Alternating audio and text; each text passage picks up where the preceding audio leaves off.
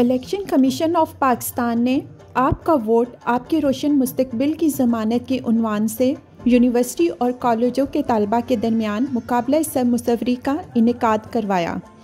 इस मुकाबले के ज़रिए इलेक्शन कमीशन ऑफ़ पाकिस्तान को 280 पेंटिंग्स वसूल हुई और इस मुकाबले में पाकिस्तान के दूर दराज इलाके, जिसमें सवात, चित्राल, बलोचिस्तान, अंदरून सिंध के तलबा ने भी हिस्सा लिया।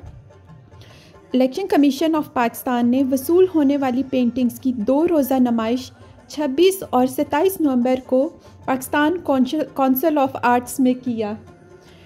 पहली तीन पोजीशन हासिल करने वाले तलबा का ऐलान नेशनल वोटर्स डे 7 दिसंबर को किया जाएगा और उन्हें बुलाकर इनामी रकम और सर्टिफिकेट दिया जाएगा।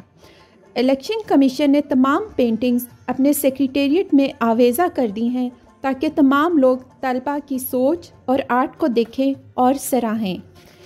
इस पेंटिंग के इनका के लिए मीडिया विंग के additional director general Haroon Shinwari, director Quratulain Fatima, deputy director Zille Huma, deputy director Suhra Bibi और असिस्टेंट डायरेक्टर आसफा खुर्शीद ने अहम किरदार अदा किया।